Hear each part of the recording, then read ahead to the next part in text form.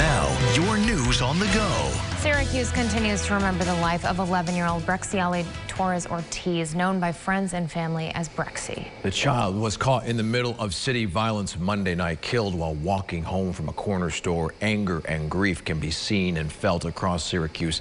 Many people have been calling for change, others filling churches to pray for a life taken far too soon.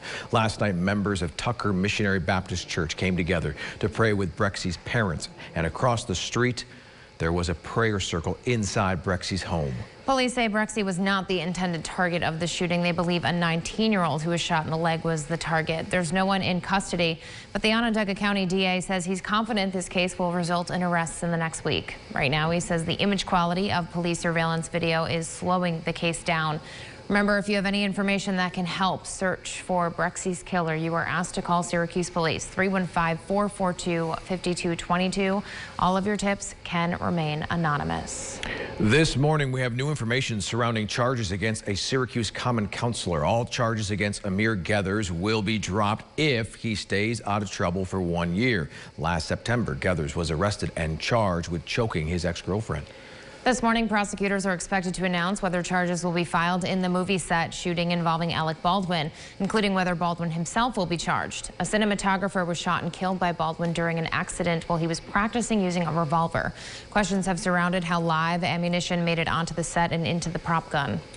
Covering New York, the governor's pick for the next top judge has been rejected by the Senate Judiciary Committee. After a five-hour-long hearing, the committee voted not to advance Justice Hector LaSalle's name to the full Senate. He was Governor Hochul's pick to become the next Chief Justice on the Court of Appeals, New York's highest court. In Oswego, Mayor Billy Barlow delivering his last State of the City address. He's committing $100,000 to promoting Oswego to future Micron employees moving into the area. He's also dedicating a mental health clinician to work out of the Oswego Police Department and create a neighborhood outreach and response team.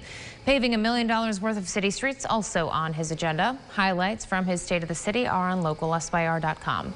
Staying in Oswego, lawmakers have voted on a large settlement with one of the nation's biggest generic opioid manufacturers. The special meeting was to consider and accept nearly a million dollars over 18 years from Teva Pharmaceutical, including about $90,000 this year. The county was suing several manufacturers over opioids and chain pharmacies because of the public health crisis created by opioid abuse.